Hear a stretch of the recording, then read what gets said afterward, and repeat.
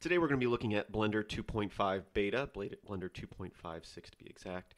Uh, we're going to be answering a question from a viewer. The viewer's name is ACP Callan, and his question is he is just wondering in Blender 2.4, when you added a sphere, you were able to choose how many segments uh, there were and faces.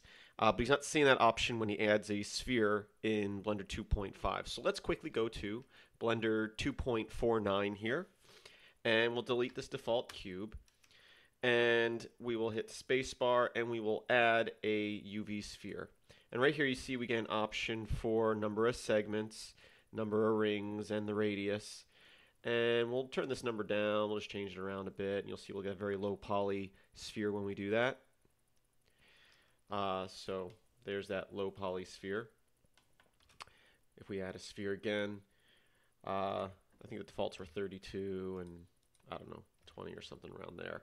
So so you can see definitely a difference with the lower poly compared to the higher poly. So and there are some cases where you want to be able to, you don't want that default. And actually a lot of cases you don't want that default. So let's have a look at Blender 2.5.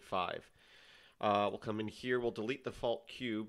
And you notice when we hit spacebar and we type in sphere and we add a UV sphere here, it didn't give us those options, at least not over here it did. But if you look right down here in the corner, there we have the options there, and we can change them real time and see what the sphere will look like. This is a bit of an advantage over the previous way where once you set those numbers, uh, you couldn't see while you were setting the numbers. So you can sit here and modify so you get the uh, resolution you want on that sphere and the size that you want on that sphere. And that uh, little window there will stay there for a little while uh, I don't know exactly at what point it goes away. Right there, I clicked on something else and it went away. So make sure you set those how you want before you start uh, moving stuff around. So once again, we'll add a UV sphere and we can start modifying uh, those options for it.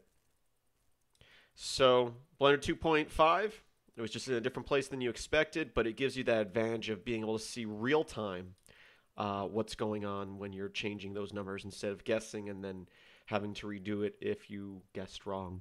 So that's a quick uh, Blender 2.5 tip. I thank you for watching. Please visit filmsbykris.com. Uh, there's a link in the description. It's Chris with a K, and I hope that you have a great day.